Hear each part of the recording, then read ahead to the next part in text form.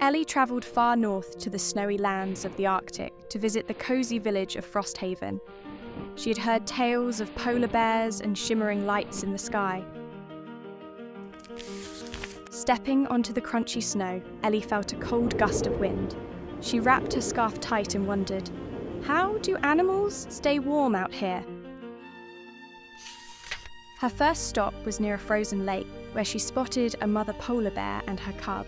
We have thick fur and a layer of fat called blubber. The mother bear explained. It keeps us cozy in the ice and snow.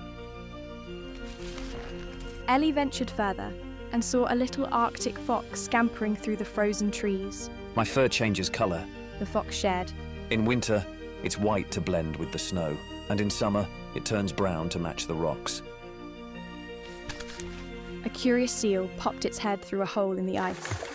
We swim in freezing waters, but thick blubber protects us, and we can hold our breath for a long time. He squeaked. Ellie noticed footprints trailing away across the snow. Following them, she found two huge caribou. We roam these plains to find food. A caribou explained. Our wide hooves act like snowshoes. Soon after talking with the caribou, a friendly husky sled team dashed by. We help people travel across the ice. Barked the lead dog.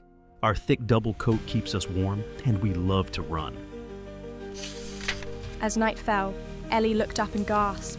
Green and pink lights danced across the sky. That's the aurora borealis, she whispered. It's like magic flowing in the air. Before leaving, Ellie thanked all her new friends. I've learned so much about surviving in the cold, she said, gazing out over the icy landscape.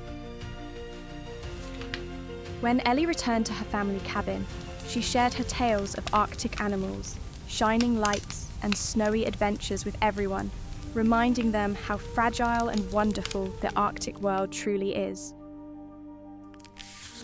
Did you know? Polar bears have black skin under their white fur, which helps soak up the sun's warmth. Arctic foxes change fur colour with the seasons for camouflage.